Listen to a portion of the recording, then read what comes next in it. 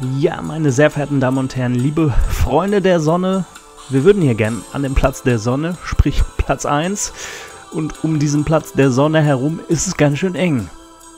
Da muss man morgens schon früh sein Handtuch rauslegen. Als deutscher Tourist, nein, wir sind hier keine Touristen in den internationalen Rängen, in diesen Gefilden der Bundesliga. Wir wollen hier Stammgast und Dauerbewohner werden. Und wir wollen jetzt mal nach der Tabellenspitze greifen, beziehungsweise wir haben schon nach der Tabellenspitze gegriffen, aber es war beim letzten Mal ein Griff ins Leere. Und dennoch läuft es gut. Wir sind immer noch oben dabei. Ein Punkt Rückstand auf Platz 1. Und wir spielen jetzt gegen den FC Bayern. Habe ich schon mal von gehört von dem Club. Und wir werden jetzt auch zahlreiche Testspiele machen. So, wir haben jetzt auch Verhandlungen anstehen. Ich habe auch mal geguckt, ich kann ja hier auf der Transferliste gucken, wer zur Laie steht nicht. Jensen steht zur Laie, McKenny zum Kauf, Chilim zur Laie, Rodriguez Pires zur Laie. Ich gucke mir das mal noch zwei Wochen an. Wenn das nicht fruchtet, dann werde ich Chilim und Rodriguez Perez zum Kauf auch anbieten. So, wir werden jetzt einem jungen Mann hier einen neuen Vertra äh, Vertrag anbieten. Wir trainieren mal Viererkette. Empen, 17 Jahre jung. Ist er ja bei unserem Kids Club quasi in bester Gesellschaft. Ist hier von meinem allerersten Angebot nicht so überzeugt. Dann machen wir sechsstellig. Wir haben noch die dicke Kohle hier. Und er nimmt das Angebot an. So, Empen bekommt die Rückennummer 15. Und hier könnte er direkt zum Einsatz kommen. Wir spielen nämlich gegen Hoffenheim 2. Und wir haben hier auf in der dritten Reihe 1, 2, 3, 4, 5, 6, 7, 8, 9, 10 Spieler. Dann müssen wir noch einen von der regulären Bank nehmen. Obwohl, wir haben jetzt zwei Torhüter. Ähm, das wird wahrscheinlich nicht funktionieren. So, Jensen geht ins Tor. Muss ich jetzt natürlich ständig hin und her wechseln, aber das machen wir jetzt einfach ein, zwei Mal. Chilim und Monreal. Die Baby-Innenverteidigung. Nicht despektierlich gemeint. Kusk, Vilinov, Seefeld spielt einfach mal Zehner. Rodriguez Pires spielt. Was haben wir da denn gleich für ein Durchschnittsalter? Im Sturm, da ist der junge Empen direkt am Start mit Molina. Der ist sogar einen Tacken stärker. Ähm, jetzt müssen wir noch Diaz und Philipp irgendwie ersetzen. Rechtsverteidiger und linkes Mittelfeld. Da haben wir leider keinen. Achso, Kusk wollten wir eigentlich zum Rechtsverteidiger umschulen. Machen wir das, dann spielt Kopec. Das senkt er natürlich seine Chancen am Wochenende zu spielen, wenn er jetzt hier spielt. So, jetzt zum Rechts Rechtsverteidiger gedrillt. Und der Rötlund spielt jetzt einfach mal hier. So. Ein paar, können auch mal ein paar Minuten doppelt spielen. So, wir spielen gegen Hoffenheim 2. 2300 Zuschauer. Mamba. Manfred Manf Mamba und macht hier das 1 zu 0. Molina mit dem Ausgleichstreffer. Halbzeit, es ist soweit. Teuter tausche ich mal. McKenny. Da die anderen ja potenziell am Wochenende spielen, spielen die anderen jetzt hier mal durch. Ja, wobei, Meireles kommt mal für Kupic, soll sich mal ein bisschen im rechten Mittelfeld austoben.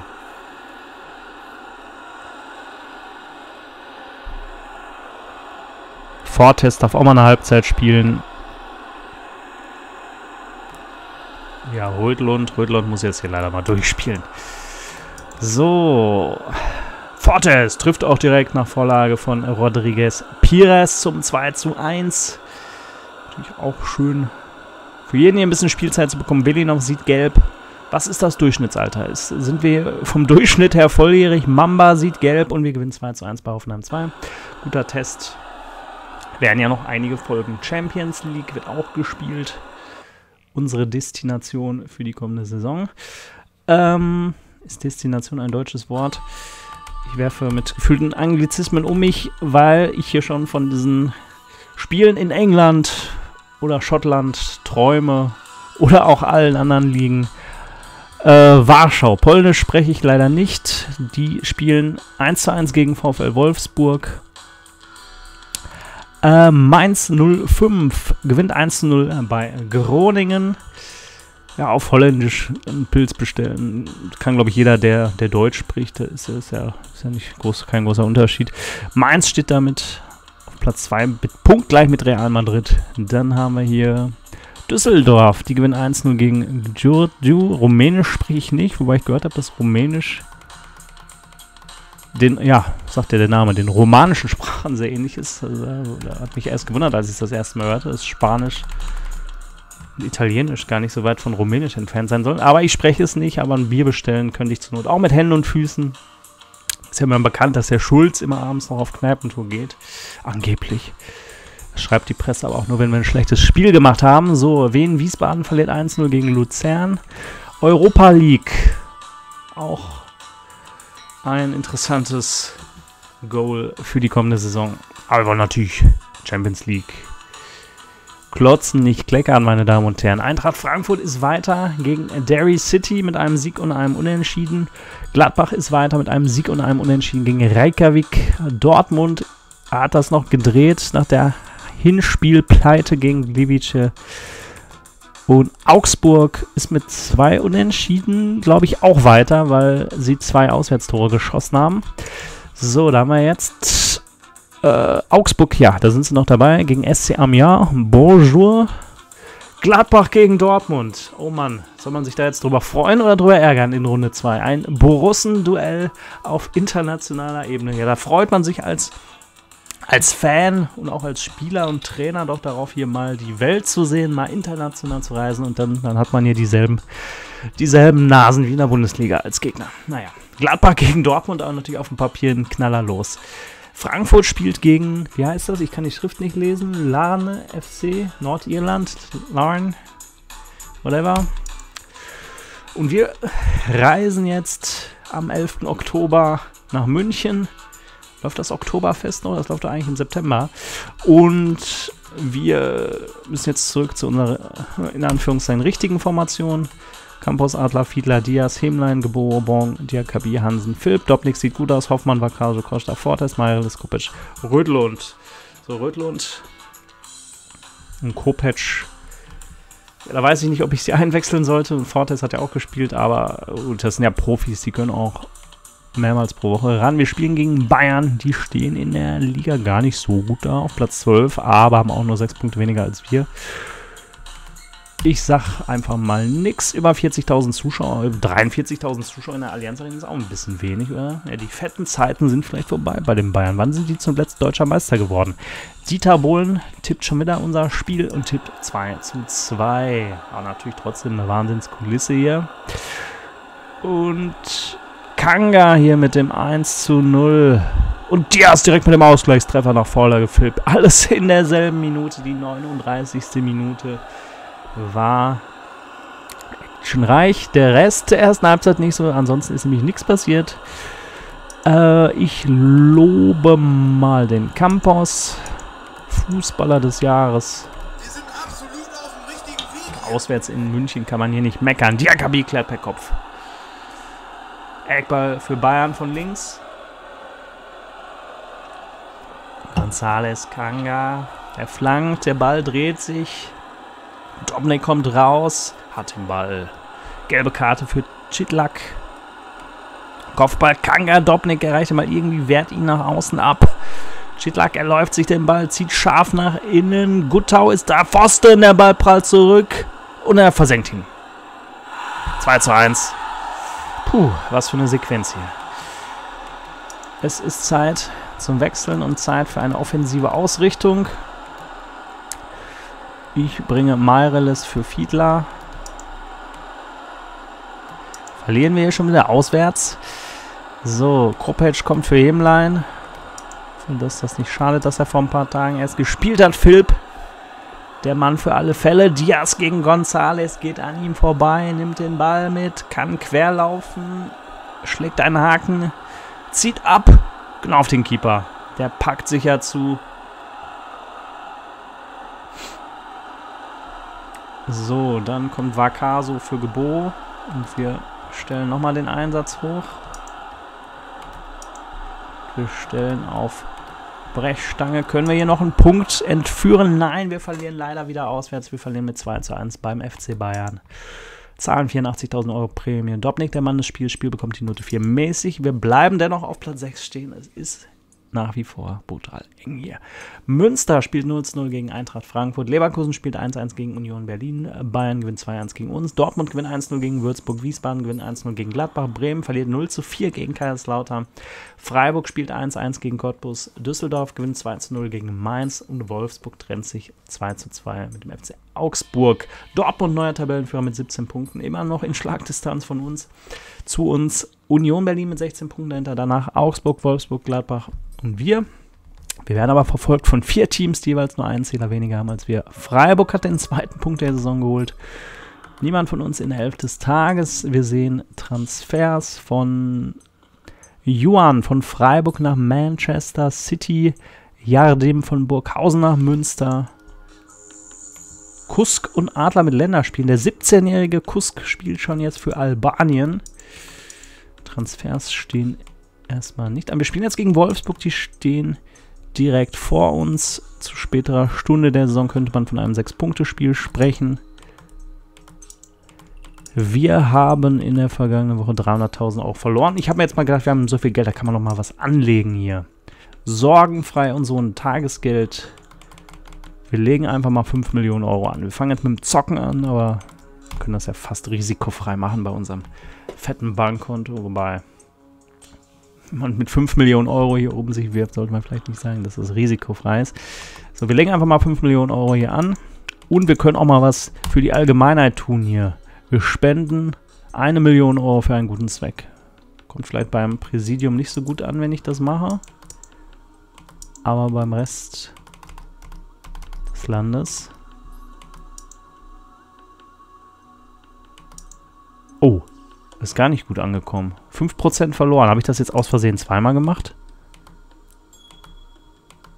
Nee, ich habe es einmal gemacht. Ich habe eine Million Euro gespendet für einen guten Zweck und das Präsidium guckt mich schief an.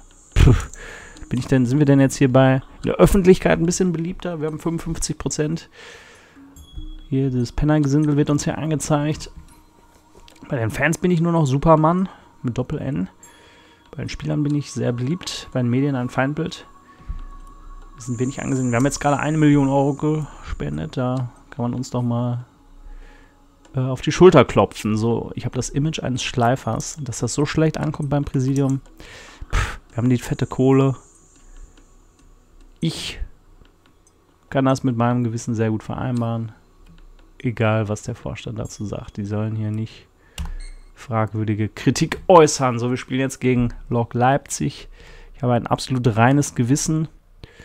Im Gegenteil, habe mein Gewissen dadurch natürlich ein bisschen gepusht, dass wir jetzt auch mal was Gutes tun hier. So, dann spielt jetzt hier mal... Der Philipp spielt hier sicherlich nicht. Kusk und Adler sind nicht da. Schlecht. Costa spielt einfach mal Rechtsverteidiger dann.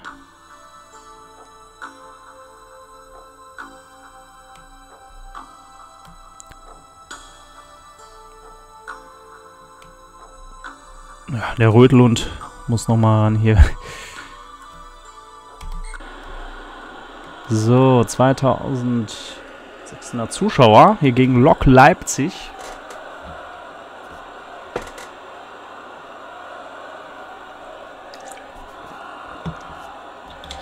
Karte für Kopec.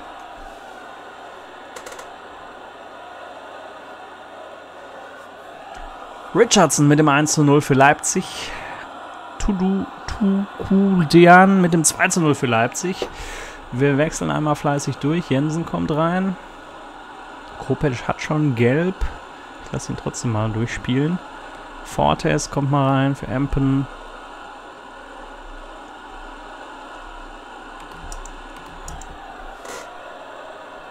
Gelbe Karte für Tutschudian. Rodriguez Perez mit dem Anschlusstreffer.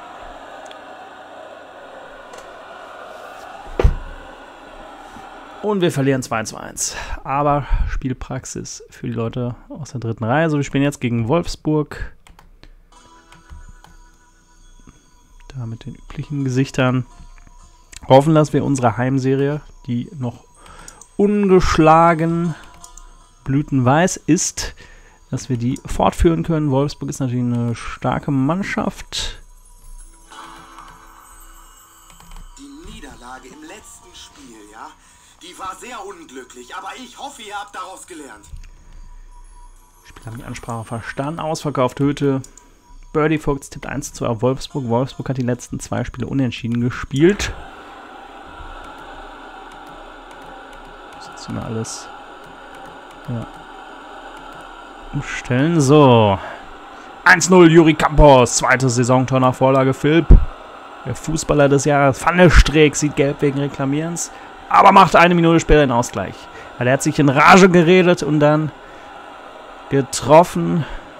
Viertes Saisontor für ihn. Hemlein stoppt den Ball, spielt auf die linke Seite hinaus. Bong gegen Donis. Geht vorbei. Bong drischt das Leder hoch vors Tor. Direktabnahme Campos und er macht hier. Der macht es direkt im Doppelpack. Drittes Saisontor. Seine Torausbeute hier direkt verdreifacht. Und passierte noch was in der ersten Halbzeit. Gebo mit einem Einwurf hoch in den Strafraum. Polly hat aufgepasst, köpft den Ball aus der Gefahrenzone. Ja, Campos ist nicht so gut aus den Startlöchern gekommen in der Saison, aber jetzt hat er, glaube ich, den richtigen Gang gefunden und ist jetzt auf Betriebstemperatur. Note 1,0, da wird er natürlich gelobt.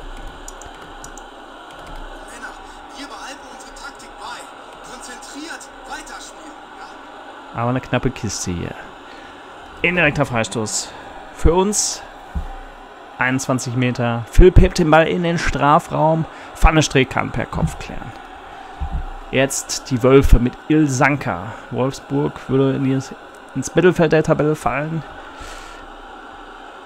Und umgekehrt wird es natürlich auch passieren. Das ist ein Spiel auf Messerschneide und das, ja, Pfannestrick trifft, äh, trifft auch doppelt, macht das 2 zu 2 hier. Meireles kommt für Fiedler. Hier ist alles drin von Sieg bis Niederlage. Holschoppen sieht gelb.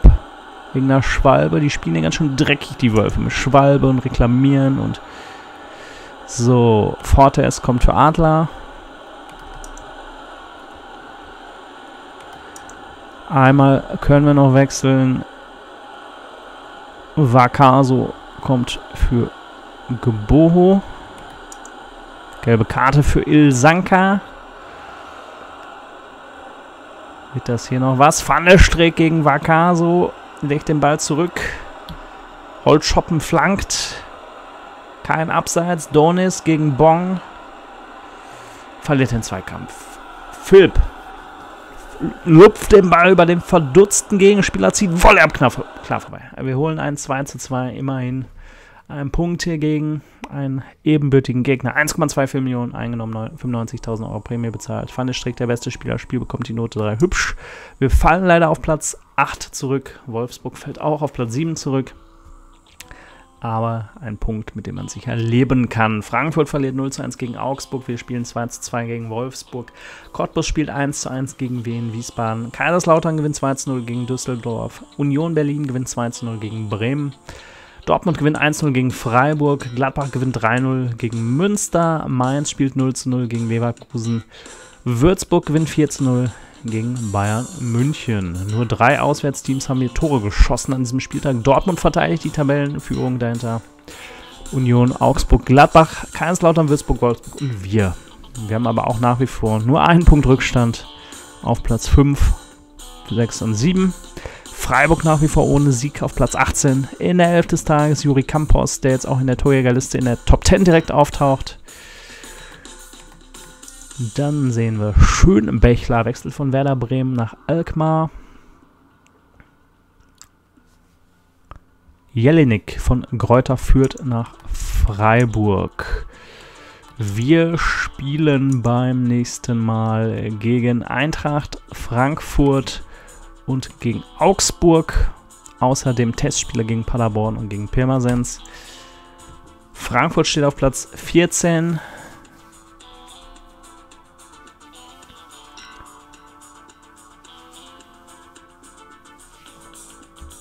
Wer war jetzt nochmal der andere Gegner?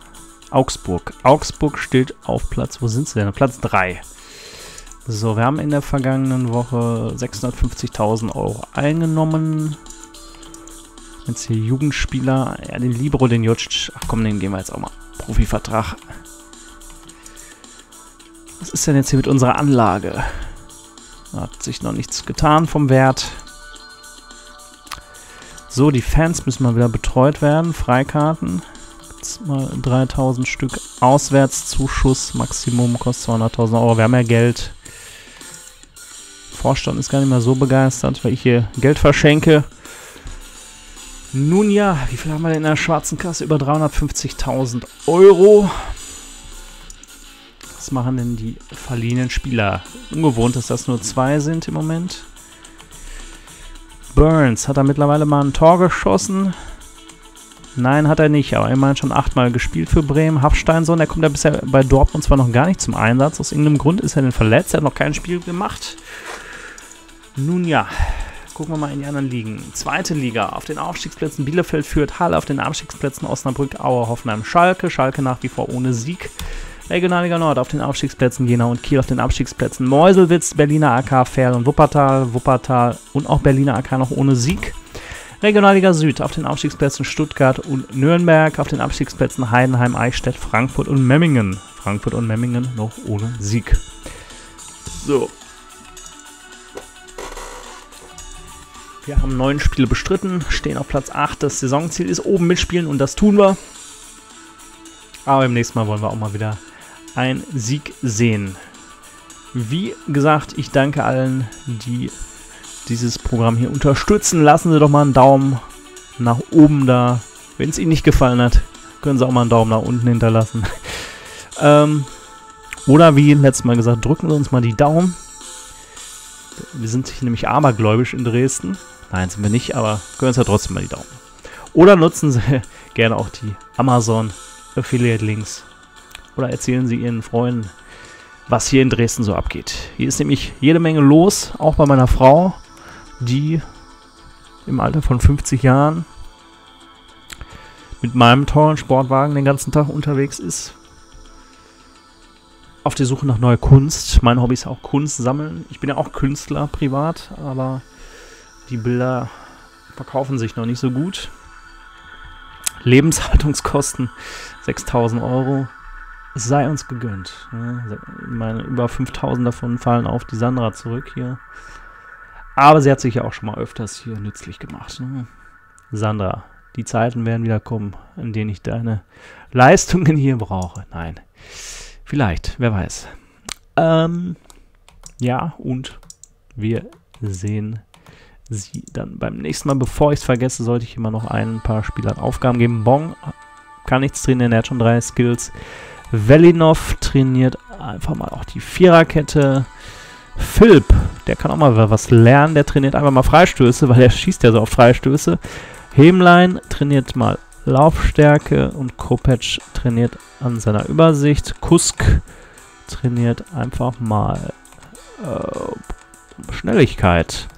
So, beim nächsten Mal geht's weiter. Tschüss, bis dann.